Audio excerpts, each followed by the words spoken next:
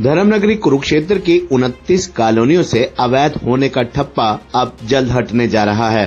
नगर परिषद ने त्रुटियाँ दूर कर फाइनल सूची प्रदेश सरकार को भेज दी है, जिस पर इसी माह मोहर लगने की उम्मीद जताई जा रही है। इससे न केवल कई वर्षों से कॉलोनियाँ वैध होने का लोगों का इंतज़ार खत्म होगा, बल्कि उन्हें मूलभूत सुविधाएँ भी मिल पाएँगी।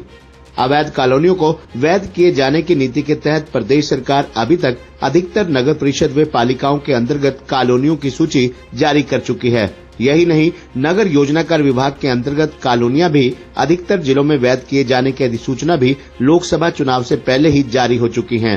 ज़िले में भी नगर योजनाकार विभाग के अधीन ऐसी अठहत्तर कॉलोनियाँ, व पिहोवा, लाडवा, शाहबाद व इस्माइलाबाद नगर पालिकाओं के अधीन भी विभिन्न कॉलोनियाँ लोकसभा चुनाव को लेकर लगी आचार संहिता से पहले ही वैध घोषित की जा चुकी हैं।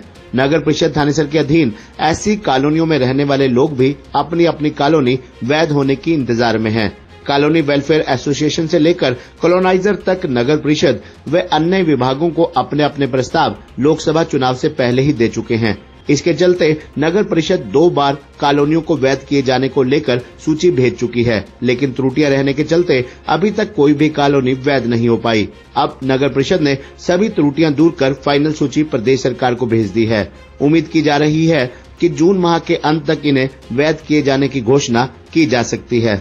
आपको बता दें कि कॉलोनी जैसे ही वैध होने की घोषणा होगी, उसके तत्काल बाद ही इनके बुनियादी विकास को लेकर खाका खींचा जाएगा। इसके लिए नगर परिषद ने तैयारी पहले से ही कर ली है। न केवल वैध होने पर कॉलोनियों की सड़कें चकाचक होंगी, बल्कि यहाँ पीने के पानी, सीवरेज, बिजली व अन्य सुविधाएँ भी लोगों को मुहैया कराई जाएँगी।